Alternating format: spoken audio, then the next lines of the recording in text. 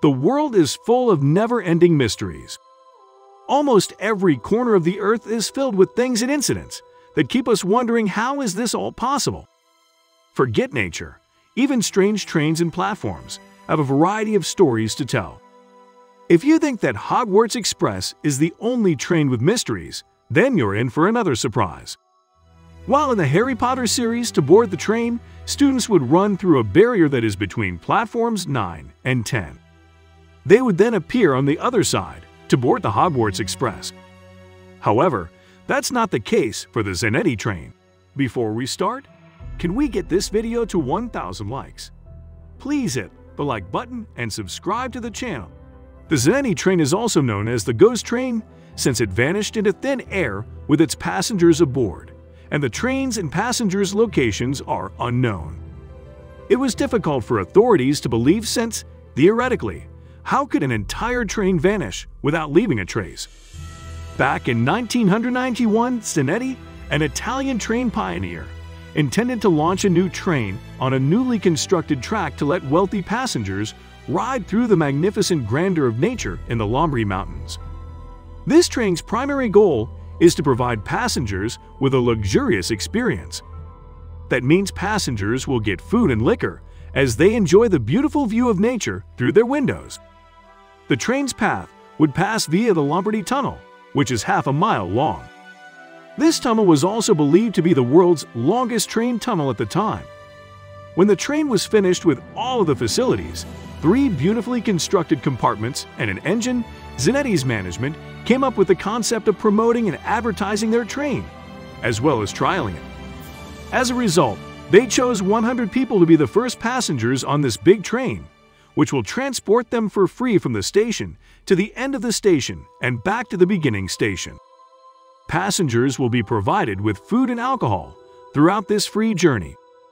The goal of this free trip is to make this train popular among the wealthy so that they can enjoy it and share their experiences with others, resulting in increased revenue. On 14th July 1991, with 100 passengers and 6 crew members on board, the train left the starting station. While traveling past the scenic grandeur of the Highlands, passengers were enjoying their meals. One by one, the train passed through the stations. Everything was as gorgeous and serene as it appeared. Just as the train entered the tunnel, black smoke billowed from nowhere, blanketing the entire coach in darkness, and passengers began to suffocate. There was a dense white fog as soon as the train reached the tunnel, as if they had entered a new zone. The train slowed, and the rain became engulfed in fog. The train was seen by many people as it approached the tunnel, but it never emerged. The station on the other side awaited the train's arrival, but it never arrived. Simply put, the train was not visible as it emerged from the tunnel. The Zanetti Company's management was perplexed.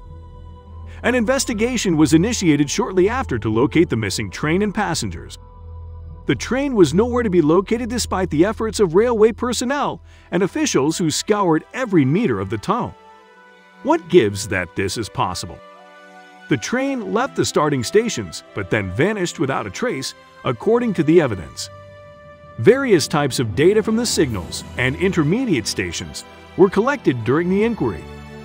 Unfortunately, it was unable to provide an explanation for how the train and its passengers vanished. Two passengers managed to get off the train in the midst of the mayhem. They didn't know how they were going to get out of the train because it was closed. These two people claimed to be among the invited 100, and the passenger list corroborated their story. According to the two passengers, when the train approached the tunnel, fog appeared out of nowhere and engulfed the train. The fog thickened as the train approached the tunnel's entrance. Even before the train entered the tunnel, these two men panicked and leaped out. As the train approached the tunnel, one of the men reported hearing a hum. He noticed the other man doing the same thing as he jumped out of the train. They both fell hard to the ground, and he couldn't recall anything after that. The only two survivors were examined by the psychiatrist, and it was found that they suffered from sleeping troubles and other forms of stress disorder. However, whatever information these two passengers gave did not provide any evidence or clue as to where the train went. Because multiple stories were spreading on the train, officials decided it was necessary to shut it down. The tunnel was bombed during World War II and was never reopened. Even after this incredible occurrence, the train's mystery deepened. Many people believe that the train was kidnapped by a mysterious power and that they traveled back in time. It arrived in Mexico around the 1840s, according to many media reports. A doctor in Mexico said decades later that 104 people were admitted to the hospital where she works, but that they had all grown mentally ill. They claimed to have arrived by rail, but did not provide any other information. This train has been said to have been seen in several locations in Italy, Russia, Germany, and Romania.